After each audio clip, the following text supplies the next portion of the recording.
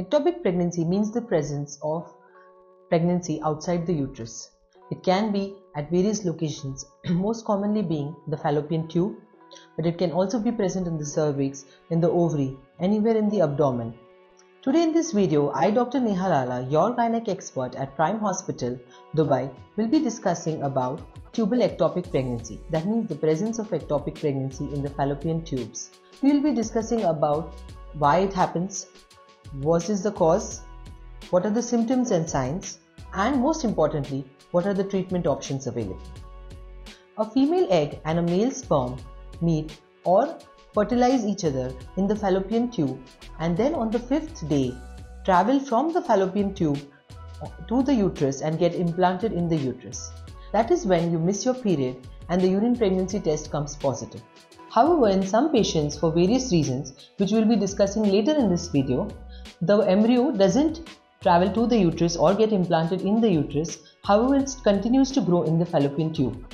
But the fallopian tube doesn't have the capacity to continue a pregnancy and continue it for the entire length of the pregnancy, and hence these pregnancies have to be removed or terminated, otherwise, they can have disastrous consequences on your health.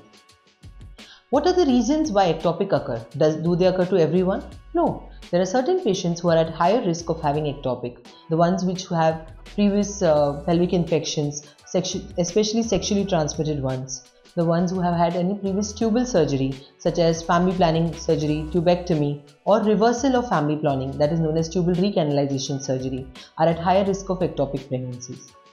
Previous ectopic pregnancy which has been treated with medicine or surgery in which the, only the ectopic pregnancy has been removed and the tube has been left behind have 10 to 15% risk of having ectopic in the next uh, pregnancy. Also, patients who have been undergoing IVF or any other fertility treatment are at higher risk of having ectopic pregnancies. Uh, women who get pregnant because of uh, with IUDs or intrauterine device or copper T have higher chances of uh, getting an ectopic pregnancy. Also, smoking and age about 35 is uh, having higher risk of ectopic pregnancies. Are the symptoms and signs different from normal pregnancy?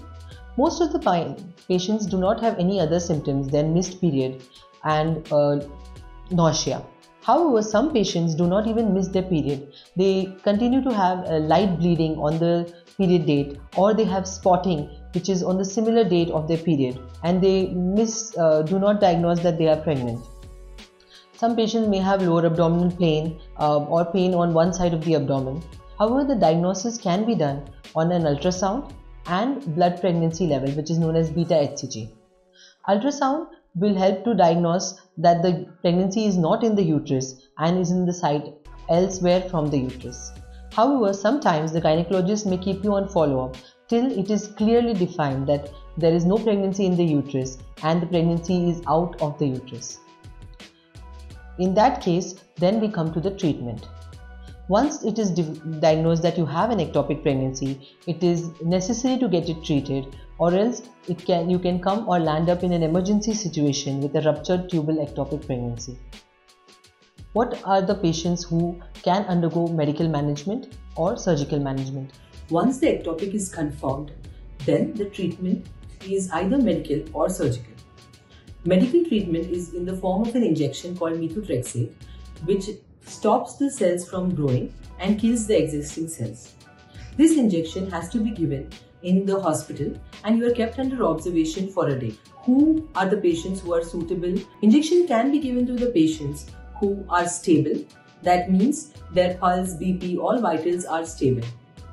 The patients who have a small sac size, pregnancy less than 6 weeks, not a live uh, ectopic pregnancy. Beta HCG is less than 4500 and willing to follow up. Once the injection is given, you have to come back on the fourth and the seventh day. On the fourth day, the beta HCG is repeated. It may rise a bit. However, by day 7, there should be a 15% drop in the beta HCG. If the beta HCG doesn't drop by 15%, that means there is failure of medical uh, management and an ultrasound is repeated. And depending on your gynecologist and your clinical status, either a second dose of injection methotrexate is given or surgery is offered.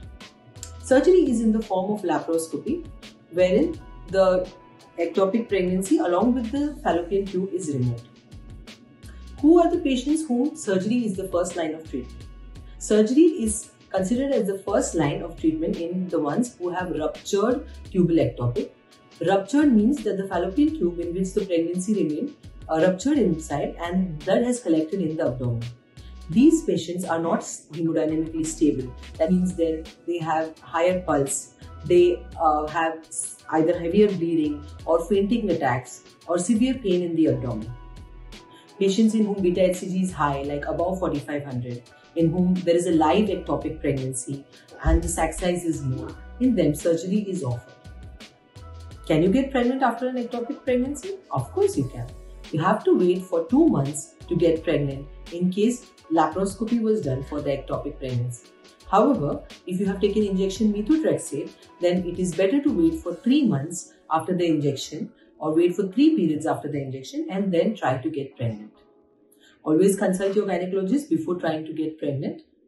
If you like this video and are interested in seeing more videos of this type, please subscribe to our channel.